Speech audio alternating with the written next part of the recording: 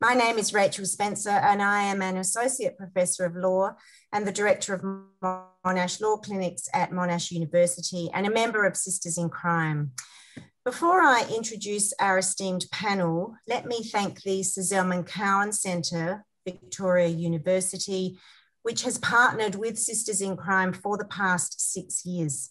Due to the pandemic, we are not holding the event at Victoria University as we usually do, However, thanks to Zoom, anyone anywhere in the world can watch this YouTube broadcast. We hope you enjoy it. At the outset, on behalf of Sisters in Crime Australia, we acknowledge the traditional owners of country throughout Australia and recognise their continuing connection to land, waters, and culture. We pay our respects to their elders, past, present, and emerging. Thank you. With me tonight, I have three extraordinary women, each with special insights and information to offer on the experience of these survivors of sexual assault as they journey through the Australian legal system, and suggestions about what can be done to minimise the trauma, ensure that perpetrators are brought to justice, and that society is made safer.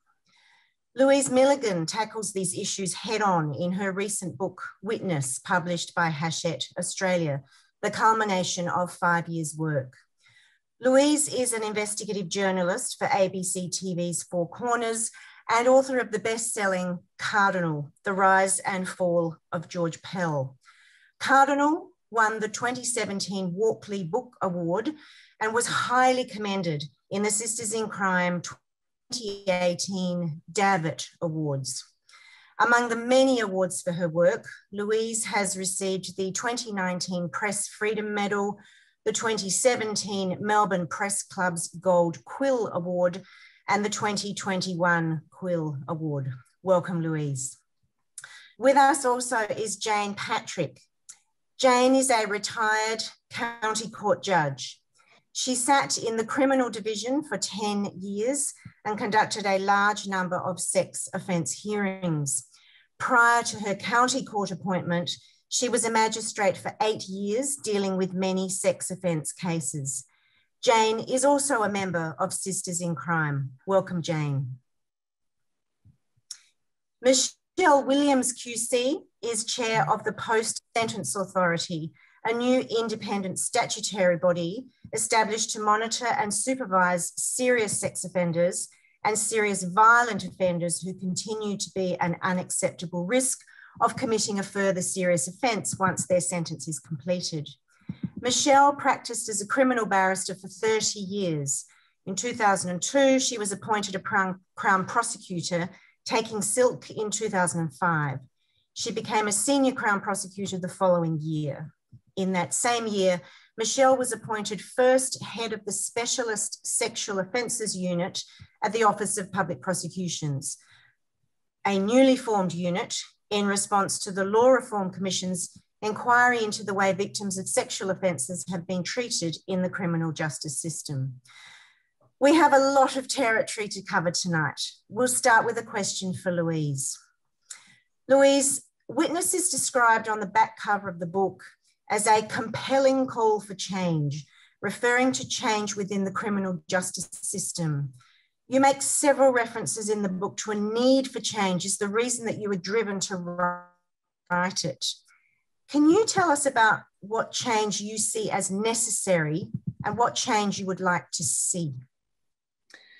I think that um, speaking to many victims, complainants of sexual crimes, as I have, not just for my research for Witness, but also over the past few years um, as an investigative journalist for the ABC and indeed for my work in, uh, in Cardinal, that um, really the uh, criminal justice system is leaving people who come forward who really summon up the courage to come forward to complain of these terrible crimes, leaving them feeling very bruised by the process.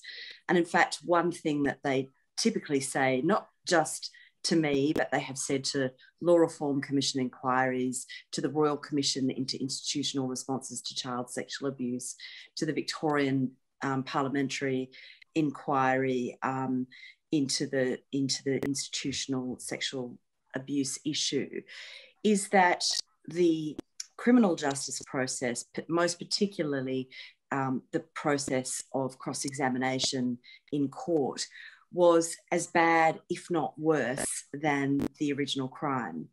Now, that's a pretty appalling indictment on the system. And I think a lot of the time that the practitioners who operate in the system, particularly Defence Counsel, find that really hard to believe. How could it possibly be as bad as, you know, child rape, for instance? But the point is that that these people are, you know, by necessity having to go through the granular and awful details of the crime, but also that they find that the process of being doubted is the sort of thing that they feared. The reason that they didn't come forward before, if it was a historical crime, so many of them have this sense of guilt and shame and and and a sense that they were if especially when they were children that they were somehow to blame for what happened to them. And, you know, there are lots of tropes in society about women being to blame for sexual crimes. And so then they find themselves in this environment where, you know, unlike the accused, who, if well resourced, is sitting there with a silk and a junior and a, a, a, solicitor and watching the entire proceedings, they come in just for their evidence. Often they're in a remote witness facility to protect them. They don't have the lawyer. They do have the Crown, but the Crown doesn't act for them. And depending on how the Crown is sort of playing the case, if they're playing a low profile case, it may be that they don't give the witness, um, the, the complainant, very much preparation at all. And so they often describe this feeling of it's it's like they're just being thrown to the lions, you know. And um, if they have a robust defence um, counsel who, you know, um, has a old school kind of way of, of pursuing this, it can be enormously re-traumatizing. So, I mean, one of the things that I look at in witness is I, I think that there is a role for some form of legal representation for these complainants. Um, not to make them a party, because of course they aren't a party to the proceedings. It's between the state and the accused. Um, and, and I don't think that the lawyer would probably be at the, the bar table, um, but, but certainly to be present in court because there are uh, provisions under the Evidence Act which prevent improper questioning. But a lot of the time, from what I've been told, you know, speaking to prosecutors, speaking to complainants and defense counsel, to judges, etc., um, is that um, sometimes these provisions in the in the Evidence Act aren't actually enforced. Um, because, as I said, the prosecutor's playing a low profile role. It depends on the judge if the judge is is not intervening as much as perhaps they should, um, the the, plaint, the the complainant can sorry the complainant can feel incredibly alone, and often these sorts of issues defy transcript. So it's not something that you can necessarily see written down on paper. It's about the tone, the bullying kind of voice that is used um, the sarcasm, the sort of belittling kind of behavior. I've seen it myself because I was cross examined for a full day in the committal proceeding of um, Cardinal George Pell. And I, I, don't want to go into that case because my book is not about that case. But the point is, it was an incredibly bruising experience for me. And I just kept thinking all the way through, I'm such a privileged person. And I'm not traumatized. I haven't gone on a sort of, you know, sad life trajectory because, you know, my life went off the rails after I was, you know, sexually abused as a child. Um, and and so I, I do think that there's a role for an advocate of some sort to be able to intervene when the Evidence Act is clearly being breached, and if no one else is is intervening. Um, and I think it might also keep the prosecutors on their toes. I think it might keep the judicial officers on their toes as well. I mean, I think also one of the issues with judges, and certainly this is something that has been expressed to me, particularly by prosecutors, is that, and, and it has been discussed also in the Royal Commission and other fora, is that if you have a particularly bullying defence counsel, the judicial officer can get worn down because you know, every time they intervene, then the person does it again. And it just becomes a bit wearying and they become a bit worried about appeal points because there might be an apprehended bias and so on.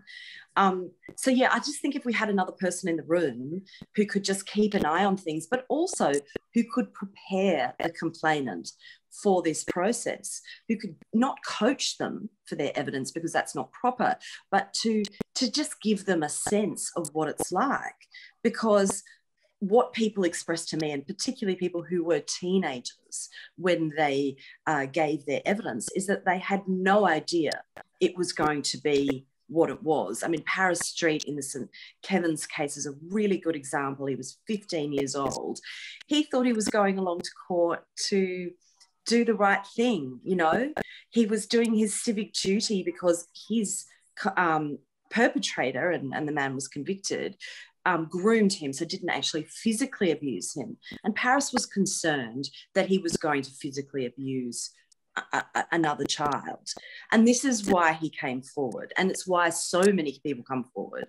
Um, and um, and he got into that courtroom and the and the you know the TV and the remote witness facility snapped on. And he was just horrified by what he was subjected to for the next two days.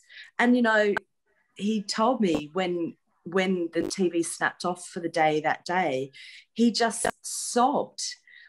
And he went home that night and you know, it was like his little world had come kind of crashing down. You know, he was like this kid who was um, you know, from a pr- fairly privileged family, went to a private school. Everything had gone pretty well for him as a straight A student. I could really relate to him. I remember being that kid at school, you know. You think that there's justice. You think that if you do the right thing, things will go well for you. Um, but they didn't for him in court, even though he got the conviction. And he went home that night and he still has punch holes in his bedroom wall because he just couldn't believe how he was treated. And he had almost no preparation for that. And we can't do that to people. We can't do that to teenagers who are courageous enough to enter the system. I just don't think it's it's acceptable at all. You can really hear the passion in your voice, Louise, and, and it's that passion that has driven you um, to write about this in your book there's a lot of things that you've mentioned there, and there's a lot to unpack. Um, if we can look at some of these issues one at a time, perhaps I might uh, put a question to Michele. Um, Michele Williams, you are a, a criminal barrister, a senior Crown prosecutor. Do you agree that there's a need for change? Well, as you said, uh, Louise has, um, yeah, covered a lot of uh, area in that opening answer, I suppose. Um, Look, what disappoints me, quite frankly, is that the same questions that you are posing, the same issues that uh, Louise has talked about, are the very same issues that we were attempting to address in 2006 when I was the first head of the Specialist Sex Offences Unit. It is completely unsatisfactory and disappointing that we are still talking about these same issues. However, let's roll back a little bit, a little bit, because 2006, as I say, when I was uh, head of that unit, there were many, many, many barristers who did not even conference the complainants at all, at all. And that was something that I changed, that I put into place. The reason being uh, we had inherited uh, the English system, which uh, meant that you didn't conference witnesses, you did not conference complainants. There was this fear or feeling or um, concern that somehow or other, if the barrister conference the complainant, that they would get caught up in the whole thing, that they would become a witness. So, you know, we have made progress. I do want to actually come back to that. It, it's it's not as if we haven't made any progress. It might not seem like it, but we have. Is there more work to be done? Absolutely. And as I say, it is concerning that we are still talking about the same things. I mean, the 2004 Law, Law Reform Commission report was all about treating victims with respect, treating them with dignity. Um, you know, all the, the, the um, Evidence Act amendments and so on that, that eventually came through. No, no, I'll call it the no bullying questions or the no intimidating questions. Those so, sorts of questions that, um, you know, um, the complainants find really difficult and should not be allowed. Why are they being allowed? We have to ask ourselves that question. Why is that still happening when we have an act that says it shouldn't be happening? Now, from my point of view, there's, as I say, there's quite a few issues to unpack, um, which Louise has raised. But um, first of all, I do think it starts with the prosecutors. That is my view.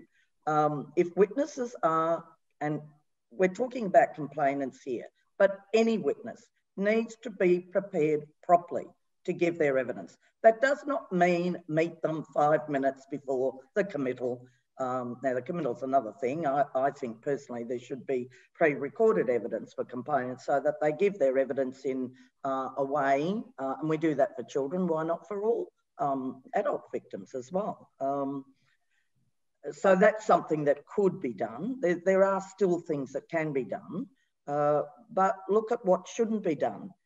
In order to have a better system, everybody needs to actually learn to follow the rules. Um, it's no good having these rules and no one follows them. So the prosecutor, in my view, ought to be the one that it starts with. And the judicial officer, whoever is sitting, must assist in that way. Um, it is tricky for them, I think, for the judges to constantly uh, having to intervene or to stop a barrister who is asking inappropriate questions. That's why I say it must be the prosecutor that does it. So, in my practice, and what I try to encourage others to do, bear in mind um, people are independent barristers. You can, um, you know, there are ways and means, but at the end of the day, it's uh, it's their role to act the way that uh, they can. But what I used to encourage and what I used to do myself is that I would set aside a time to have a proper conference with my witnesses usually the week before. So leading up to the committal, if there was one, or the trial. And, um, you know, that's not just about, and you mentioned the word coaching, uh, Louise, it is not about coaching, but it is about expectations. Expectations. Mm. And what is this system about? Because, and again, you mentioned Paris Street and that he thought he was, he had no idea. He was just coming along. Well, that is unacceptable and that should not have happened. And, you know, so if prosecutors, um, and as I say, I believe it's the prosecutor's role. I don't particularly go for the idea of independent representation. I know it's been looked at or, or is being looked at, but my own, that's got a number of problems attached to it. And, um, you know, it would be very difficult, I think, for someone who has legal representation to then not be attacked? I mean, how, how do you have confidentiality, for example? How does the defence barrister cross examine? Have you been told that by your independent um, representation? I think it creates more problems than it solves.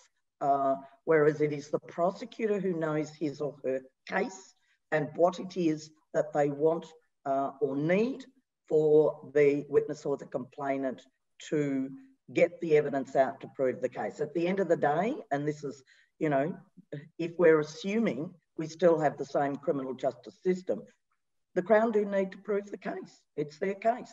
Uh, uh, could I just say something in follow up to that that I think is quite interesting? Um, I did find with uh, female prosecutors that they seem to have more of a, you know, sense that they should be intervening in and also a sense that they should be properly conference conferencing uh, complainants. They were very passionate about that. Um, and I'm not quite sure, you know, why there is a sort of a, a gender sort of issue there. But yes, if if they were doing their jobs properly, then perhaps we wouldn't need an independent lawyer. But the point is, they're clearly not because people are still feeling like this. And we're in the middle now of another Law Reform Commission inquiry yeah. into this mm. issue. The Victorian government has deemed it necessary to do this yet again, to come back yet again. Um, so yeah, I mean, it's I think it's really great and really important for people like you, Michele, to say these things um, because your voice is one that people will listen to. Let, us hear from let's hear from Jane Patrick, um, retired county court judge. Jane, you have presided over a large number of sex offence hearings. Um, I, I'm interested to hear do the experiences described by Louise in her book Witness reflect the reality of the criminal justice system in this area? And, and where do you see a need for change? Um, well, I, Louise has spoken the truth, so there's no doubt that what she says happens. I think I'd be interested to see what the Law Reform Commission says because I understand that they are looking at transcripts of lots of cases. Louise is right that you can't always tell from the transcript how things were put. Um, couple of things. Things have changed enormously since when I started. Um, respect and dignity were absolute values in my court always. And I disagree with Michele in the sense that it's always the judge who ultimately has the responsibility to make sure that that happens. Things changed a lot in the time that I was on the bench.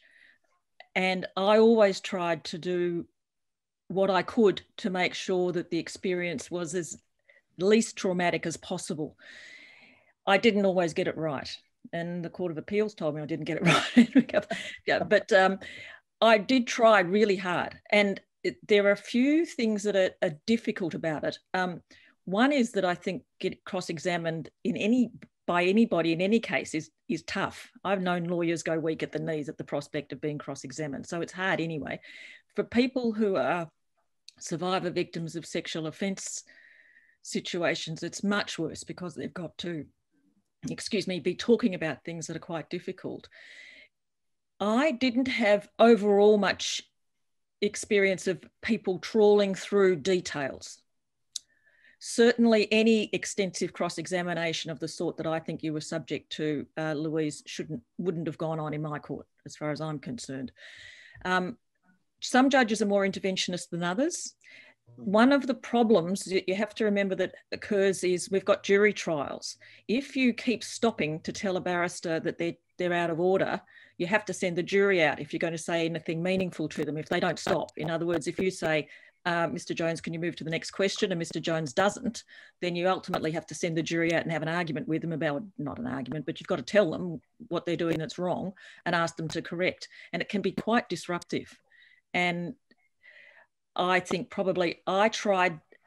One thing is that we've done a lot of work with children to try and make things better for children. I'd be very interested to hear what the witness protection, uh, the witness service, not witness protection, the, the the people that assist the child witnesses in to you know in, in those remote witness facilities, they have a huge amount of knowledge about how people are feeling at the other end, how the complainants are feeling when they're cross examined and how they come out at the other end. I'd be very interested in because you need a cross section of what's going on everywhere. Now, some things bad are clearly happening in some places. Is that a reflection of what, how much percent is bad?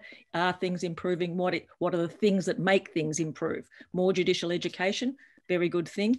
I think the um, the issue of an independent um, person assisting the witness is technically possible, but I think again, funding would be a problem. And I think the other thing is the disruptive element about it. How would you handle it in when you've got people in a remote witness facility, you've got people in the court, you've got the accused there, you've got a jury, and the jury is very important in these matters.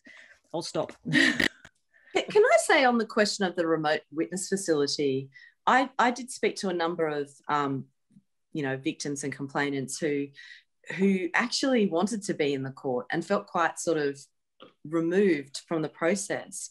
I feel like the system kind of infantilizes victims. It's like this kind of there, there sort of approach. And, um, you know, uh, if they were in the court but had more purchase, you know, um, and, and that's why I thought the idea of a, an advocate of sorts would be good because they would feel more empowered. Um, it, it, might be a less um, as I say, infantilizing and patronizing and brutalizing experience for them. I know that the reason that the remote witness facilities were brought in was actually to protect them. Um, but sometimes there's sort of almost this ghostly presence that sort of wafts above. Disagree with that entirely. Yes, I do too, Louise. I think it's been the single most um, you know, um, reform, that's progressive reform that's helped the system. And you've got to remember that some, uh, some complainants simply cannot, cannot give their evidence. They, they simply can't. Now, it is true I think um, there, in my experience, have been some who have said, I'd prefer to go into the courtroom. And of course, they can. Yeah. But there's nothing more powerful, in my view, than you have a great big screen there with a, with a person who is um, speaking and telling, uh, talking about things that have happened to them.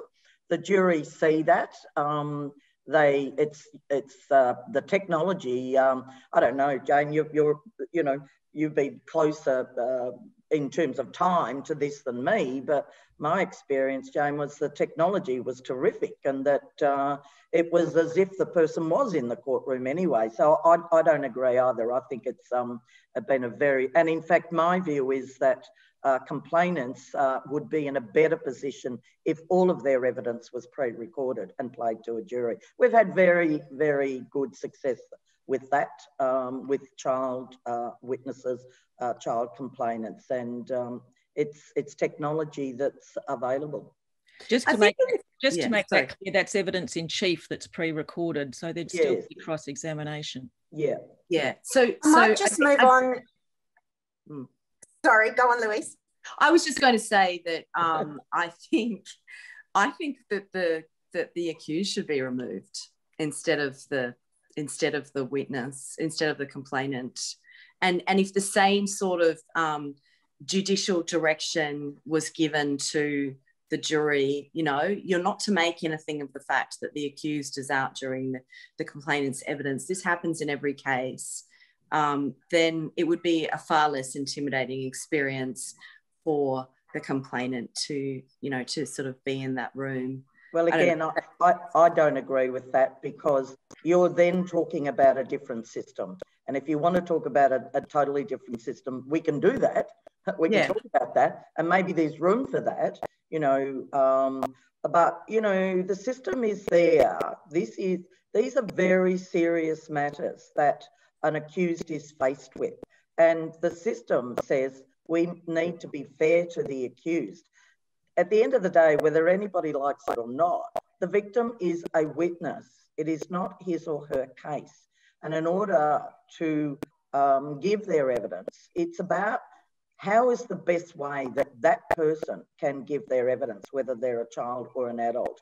And it's just as intimidating, or would be, in my view, to come into a courtroom full of, uh, uh, you know, a jury, the judge, the tipstaff, the barristers, the accused in a way is almost oblivious anyway because they're at the back of the back of the courtroom. So I, I don't think, Louise, it would make um, the difference that you're suggesting, and I think it uh, is would be a different system then, which, you know, maybe that's what we need. maybe at the end of the day, we're trying to, you know, put, what's that saying, put a square peg in, in, in a round hole because uh, really there's a fundamental conflict, isn't there? Between the accused right to a fair trial and what we're trying to say, well, you know, a complainant or a witness in a sexual assault matter is uh, feeling or is experiencing, and we're not doubting that, we know that, um, the trauma of what they're going through. Are those two things fundamentally in conflict? And I think they probably are. Mm. Well, ma- many of them have said to me that you know that they felt like they were on trial, not the accused. Of course. Of course. I mean, it's a cliche, right? It's a cliche, but it's a cliche for a reason. it's a cliche for a reason because it's true, and because yeah. many, many um, victims uh, say that. But I think the other thing is what what maybe is not being said here is that the reforms have led to people coming out and feeling more comfortable in reporting. Of course, it is still true that many do not come out for a long time and are not able to, but they are supported through to make the complaint, to make the, to the police in the first instance. So I do think there's been, you know, can, remember Jane when there used to be the, you, you know, you never, you had to have the un, um, corrupt, you had to have corroborated evidence for, mm. it was never approved at the um, Victoria Police level you never got a charge to court mm. unless there was, well, how many, very rare that you have corroboration, meaning independent uh, evidence that supports uh, mm. what the complainant is saying. So um, anyway, we, I, I, do think we've made some progress, but it's, it's where to from here. Mm. Seems to me that um, a lot of what uh, Louise is talking about is coming from a, a um, position of um, thinking of empowering um, the complainant, and Louise has used this phrase empowerment a lot. Just to, to segue a little bit now, in, in the book Witness, there's part of um, part of the book about a particular barrister whose performance in court was so extreme that uh, the victim wrote about this in her victim impact statement. Oh, yeah. Yeah an impact statement obviously being one form of um, empowerment. But that part of the statement was actually disallowed from being read aloud in court. Michele, I know that Louise interviewed you about this for the book. Um, can you give us comments about whether a victim or a family member making a comment about the style of a barrister in the actual victim impact statement is that uh, is that something that should be allowed? Well, in many respects, I think it should be allowed because we're talking about the way um, a, a, trial is conducted and, and the effect on uh, the complainant during the course of that trial. And if it's had, uh, you know, a very um, significant effect, then there, there could be reason uh, to to allow it. I'm not sure, Jane. Did you ever have that, and do, and do you think it should be? Um, I would certainly allow it. I think yeah. you'd have to have a discussion.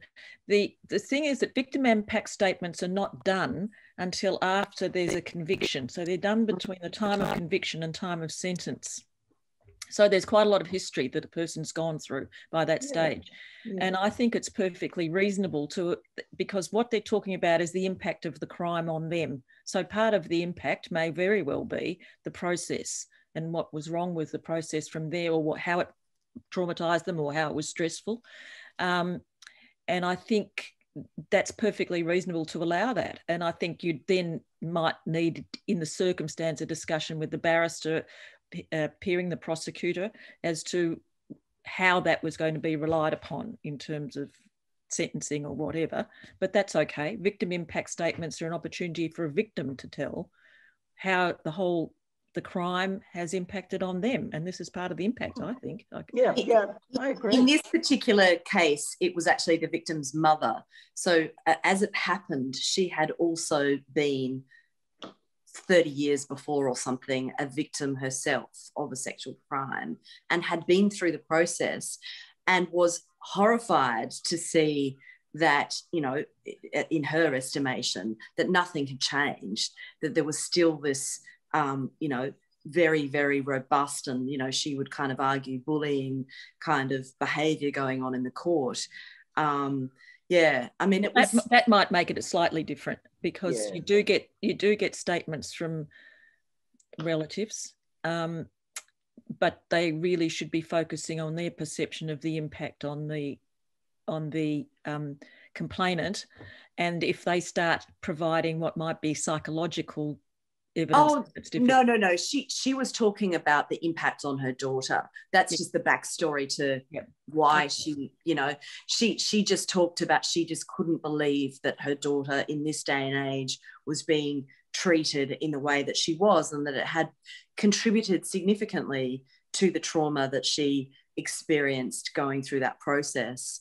Um, and you know, she wrote very sort of passionately about it it was interesting. I, I did interview the barrister about about this, and um, you know, he he's very sort of um, unabashed about his you know old school kind of style. Like he he's very upfront about that, and and I remember he said, well, you know, so what? I hope that Collingwood wins the premiership. Bad luck, I, you know, that doesn't happen. You know, and I, I was just like, wow.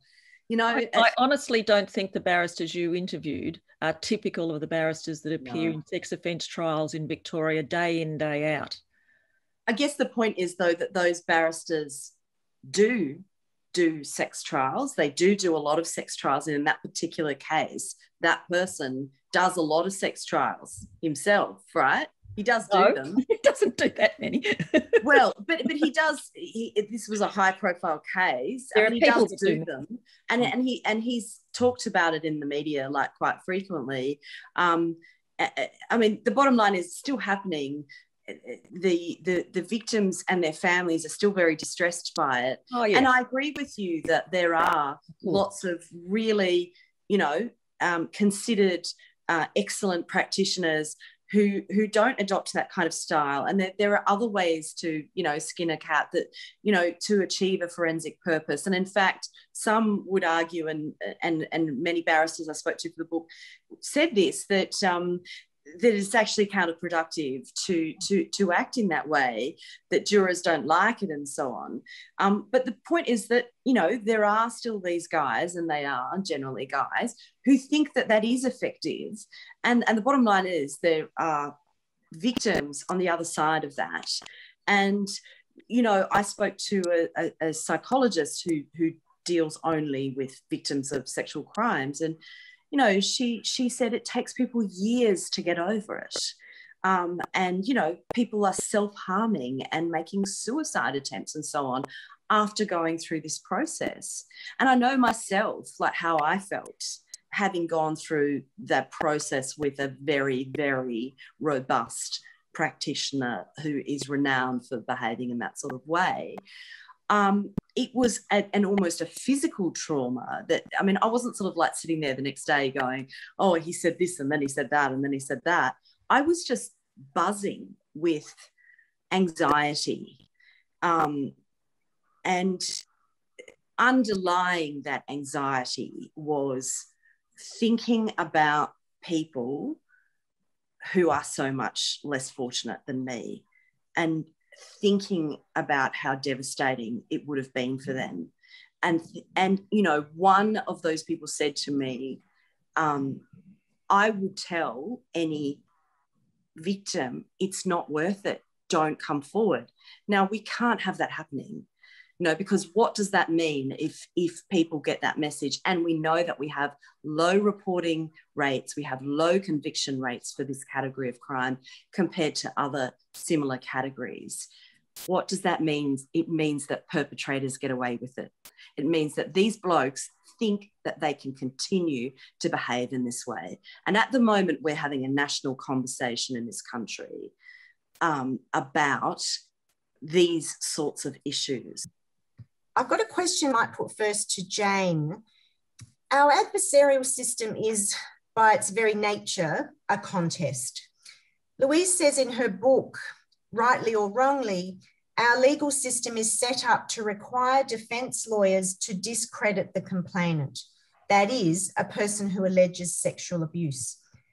Is it time to think about changing the adversarial system, in, especially in this area of sexual abuse cases? Would an inquisitorial system be better? Jane? I've thought about this over the years a lot, and I think one thing um, I've been thinking about is could it be done that way? My experience, for example, in VOCAT, Victims of Crime Assistance Tribunal, is that one of the most important things is that the balance of proof is on the balance of probabilities, and generally people's uh, who make a complaint of this sort or say these sorts of things happen, uh, they've they're validated in the sense that they're what they say is accepted, and there isn't this whole business of sort of trying to say, well, it didn't happen, therefore I have to discredit you by somebody else. It just goes through, and therefore there's whatever.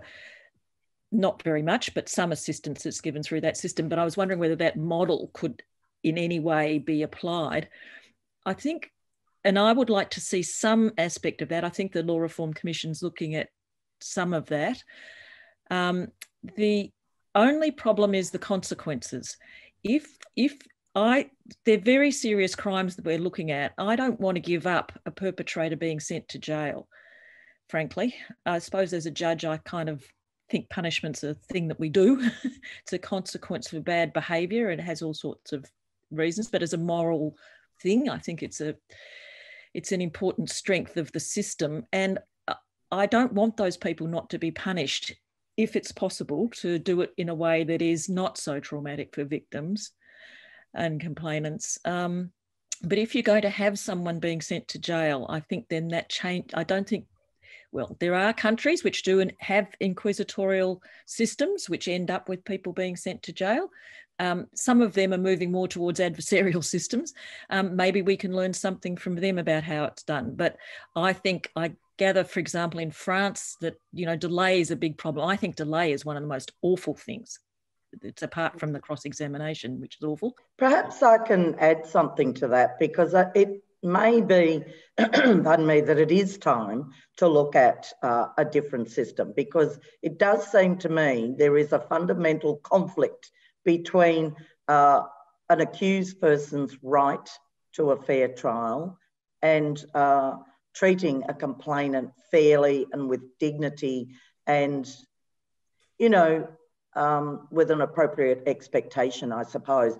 The, the problem is exactly as Jane pointed out.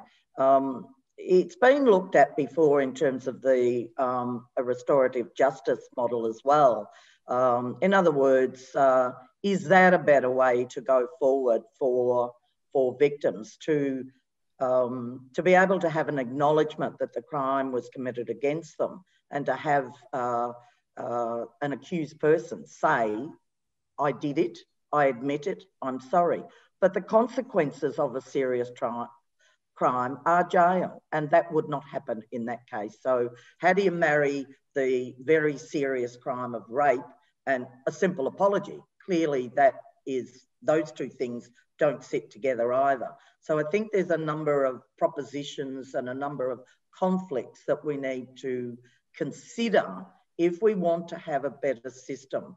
Um, yes, I'm not too sure where the Law Reform Commission is with this at the moment, but um, yeah, some of these things could be looked at again. I know in 2004, um, or thereabouts with the Law Reform Commission there.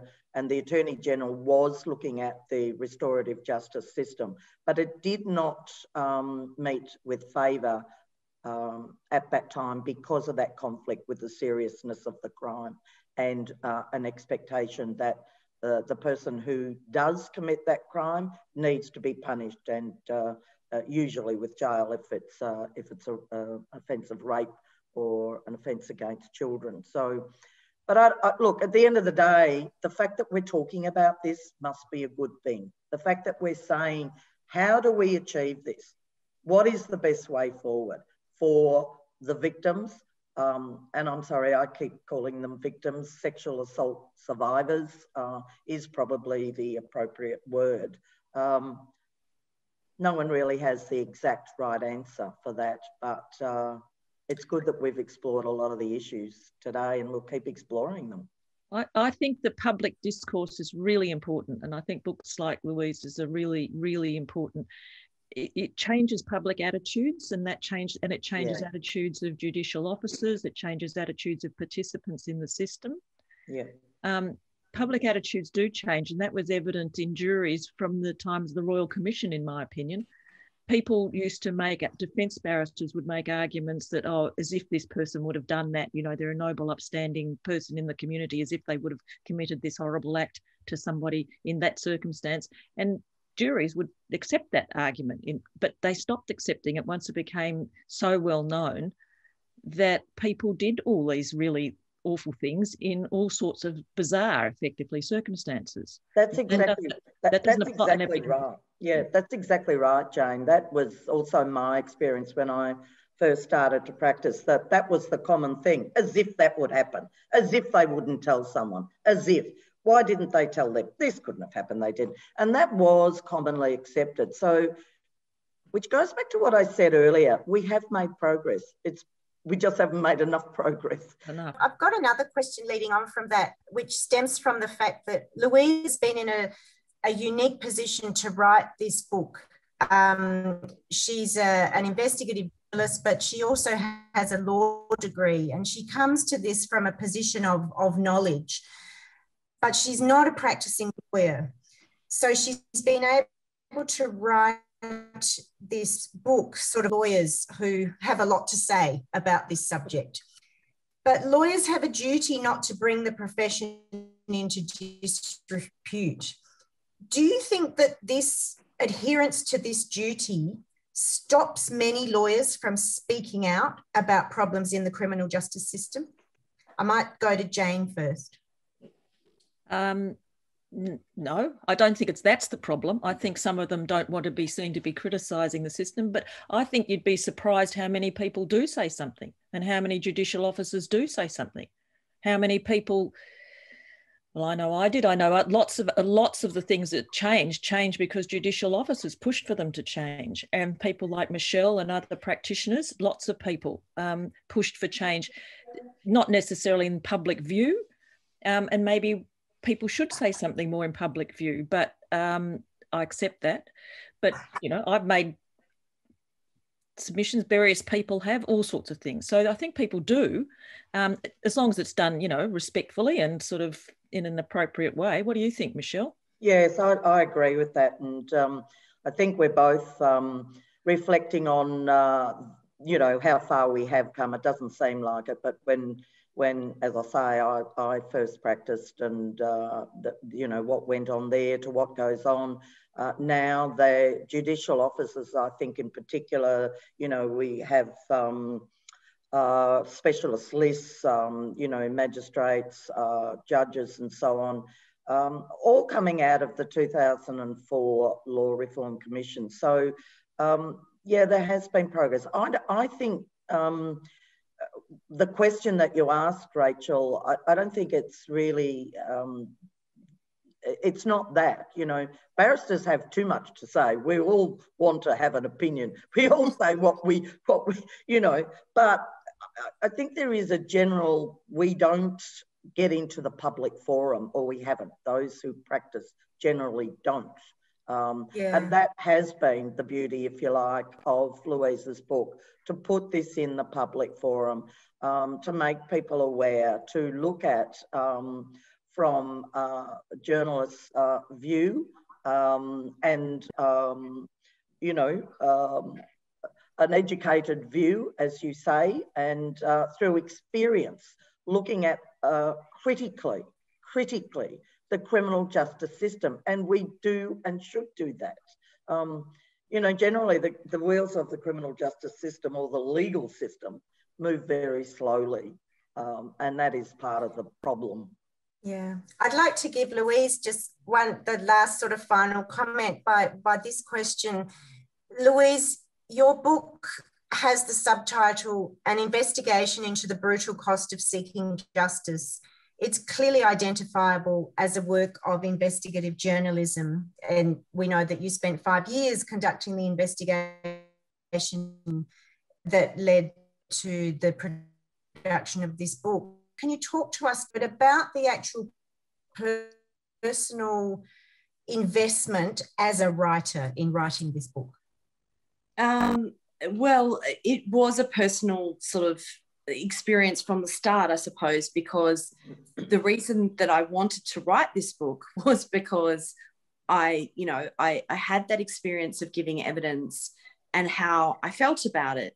And I, it was quite a, you know, almost politicizing experience for me um, going through that. And, and I remember thinking that, you know, after this whole case had finished and and after I, frankly i had recovered from not just um, the primary experience of of going through that but also the secondary trauma that ultimately comes from you know um, telling i suppose these stories without wanting to make myself the victim in this because i'm not at all. But um, that i would try and find out more about what was happening to victims, survivors, complainants in the system.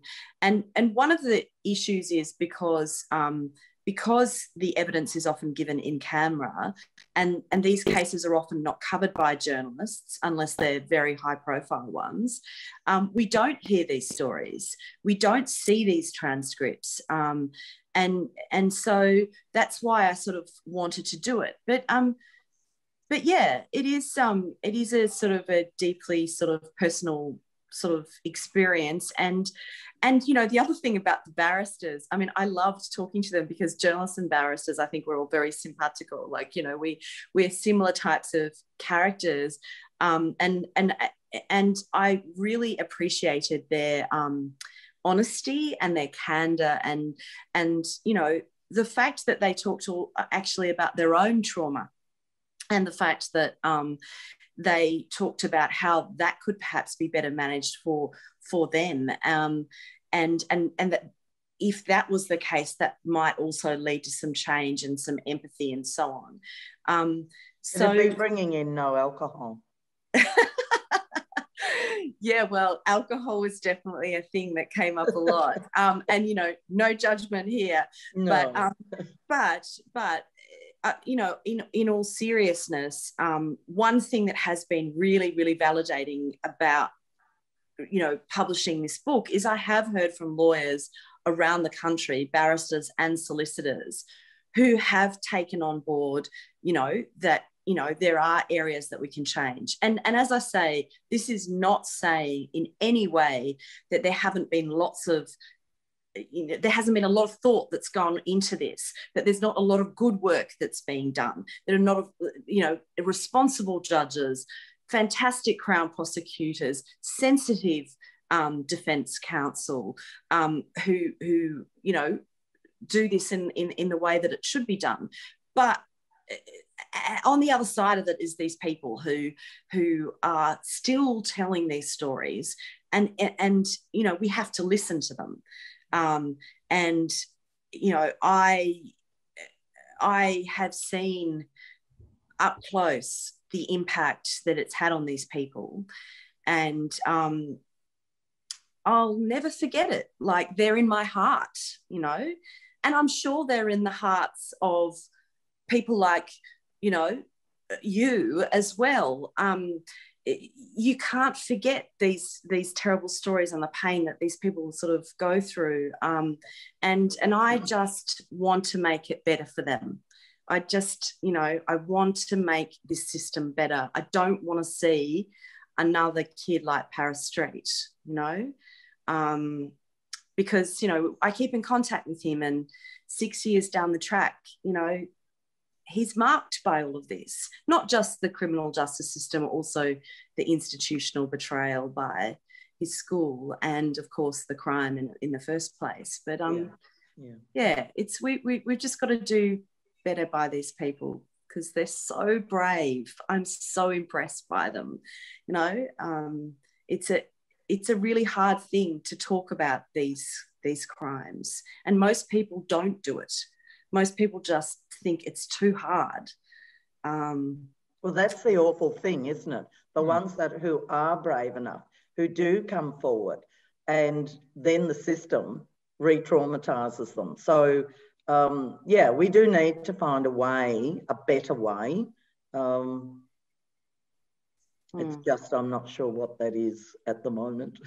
yeah, uh, Marcia Neave actually, when I was talking to her, was saying, you know, like it would be good to see more international comparisons. You know, more work on on that sort of stuff there hasn't Yeah. been as much as there could be and then that would include you know well what are the conviction rates you know comparative data Yeah. all of that sort of stuff Look, I think do, that- I do think too, what I didn't mention before, which I would like to mention, is that having a specialist sex offences unit was really very powerful at the time because we were not only um, going forward and, and, and treating victims uh, with, you know, respect and dignity, and, and I was having all sorts of um, uh, seminars for barristers to, to educate them and, and so on but we were driving outcomes. It's important to think about driving outcomes. And what I mean by that is that in a lot of cases,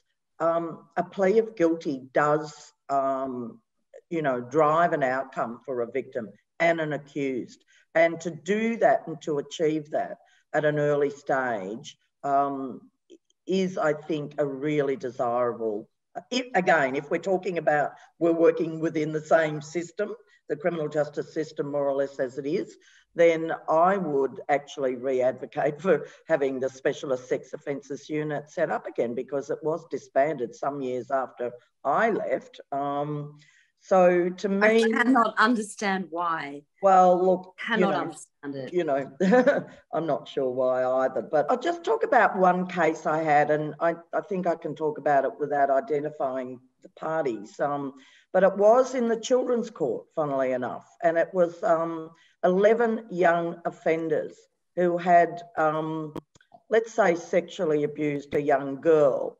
And they, of course, were, because they were young offenders and stupid, they videoed. And, uh, you know, first of all, the police didn't know what to charge these young offenders with. Second, the father did not want his daughter to go through uh, what he rightly knew would be a dreadful experience for her. I was able to drive an outcome, which was a plea of guilty from all of those offenders by saying to each and every barrister, um, come to my chambers, talk to me about this, go into a room with your client, watch the video, and tell me what you're going to do. And if you plead guilty, I will make a submission to the judge that they do not have to go to jail or to youth training centre. It was an amazing experience. I'm giving you the short short version of it, but it took a long time to actually. It was a, great outcome for the for the victim and her parents, who uh, she was, um, you know, intellectually um, uh, slow. I will say, I'll call it that way. Um, and of course, they didn't want to put her through the system. It had an um, oh, oh sorry, I had a few conditions attached to it. That each uh, young offender uh, had to plead guilty, and it was to an appropriate charge and um, a rolled up charge. And their parents had to come into court and watch that video while it was played in court. I want their parents to see what those offenders have done. This had an amazing outcome. You know, everybody, it, was a win for everybody, everybody. The offenders didn't go to jail. The, um, the victim didn't have to give evidence. Uh, the father was happy with that outcome. Uh, the police were happy because they didn't have a clue what they were going to charge these offenders with. So that's a really, that's an example of what I mean by driving a case. Now you need a lot of energy to do that. And you need, in my view, it's helpful to have a dedicated unit. Or you don't have to, but I, I, I found it was helpful that that's the sort of work we were able to achieve. These stories are all so fascinating, and um, it's only through telling stories that we that we can share ideas and share some change for the system. One thing I do think is important that we need to emphasise is that um, com- complainants giving evidence it can be an enormously validating experience, and you know the voices of women and children and you know victims of these sorts of crimes you know way back in the past we didn't hear those voices. That's right. You know this yeah. this process can be an opportunity to empower them. So if the system is better geared towards that, this can be an incredibly um, cathartic process for them and and can be an opportunity to to get this stuff off their chest you know because a, a lot of people have said to me um, or there's one survivor in Ballarat, a really lovely man, Peter Blenkiron, who who told me that you know it's like the pimple pops, and then you just want to tell everyone, you want to shout it from the rooftops, you want it to be known that this happened to you. Well, if we can do that in a system where you know um, they are treated with a bit more respect, and I accept that there are lots of situations where that does happen now um, that would be good because you know I don't yeah. want to discourage anyone from coming yeah. forward. Louise, I couldn't agree more. And in my experience, there were um, many uh, victims of sexual assault who, after proper conferencing, after being prepared, after going through it, have and did say to me afterwards, You're right, Michele, I actually do feel better for having said it. And I do think. Uh, let's let's try and encourage that part of it, empowering people to be able to uh, tell their stories and try and minimise or get rid of the other part of it where they're uh, treated uh, in an improper way. That's the system we want. And hats off to those people in the system who are doing it right. You know, I mean, let's not yeah. forget this is a really, really difficult process for prosecutors, for judges, for defense counsel, for solicitors, you know, they have to walk this road as well. And many of them are doing it in a very respectful way. Um, yeah. And, you know, it's a difficult thing for everyone. Um, so, you know, we should applaud where that's being done well as well. Yeah. It's wonderful that uh, we've been able to have the three of you talking today to, to talk through these ideas I think we could spend hours talking about this. There's so much more to be said, but we are going to have to finish that now, I think. So, look, thank you very much to all of you for for joining into such a fascinating conversation um, about a really, really important book. So thank you very much to you all. Thank you, Thanks. Louise. Thanks, Rachel. Thanks, Michele. Bye. Thanks, Jane. Thank you. Bye. Thank you so much. I really appreciate it. Thank you, everyone. Thank you to the participants. Thank you to our audience. You can buy Louise Milligan's book, Witness, from Sisters in Crime's longtime supporter, the Sun Bookshop, which now has an online service. The Sisters in Crime YouTube channel, um, have a look at that, where you can find other events, plus our Murder Mondays interviews with both Australian and overseas crime authors, including Val McDermid, Kathy Reich, Sara Paretsky, and Ann Cleeves. Keep in touch with Sisters in Crime through their website, and you can sign up for our monthly e-newsletter, A Stab in the Dark, or better still, join. You can also follow us on Facebook, Twitter, and Instagram. Thank you, everyone. Stay strong, stay safe, and keep reading.